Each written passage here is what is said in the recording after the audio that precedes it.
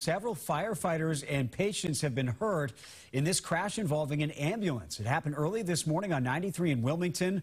The fire department shared these photos, reminding everyone to slow down and make room for emergency vehicles when they have their lights on.